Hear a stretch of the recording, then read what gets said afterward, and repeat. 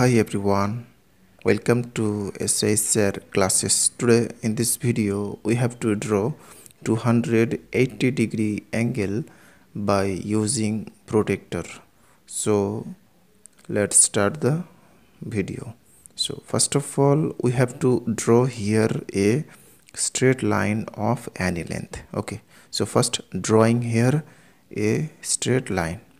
Next pointing out here to draw 280 degree angle on this point.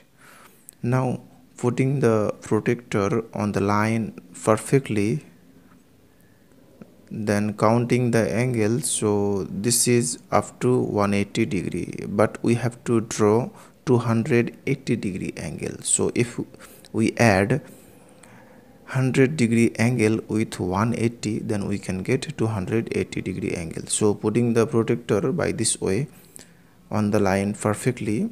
Now counting the angles. Okay.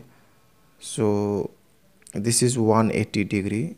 Now we have to count 100 so this is 40 50 60 70 80 90 and this is 100 so by adding 100 degree angle with 180 degree then we can get 280 degree angle.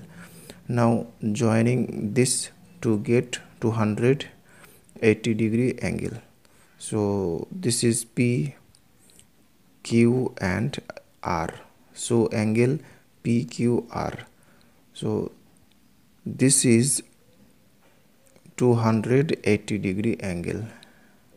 Okay. Therefore angle PQR equal to we can write PQR equal to 280 degree angle. That's all.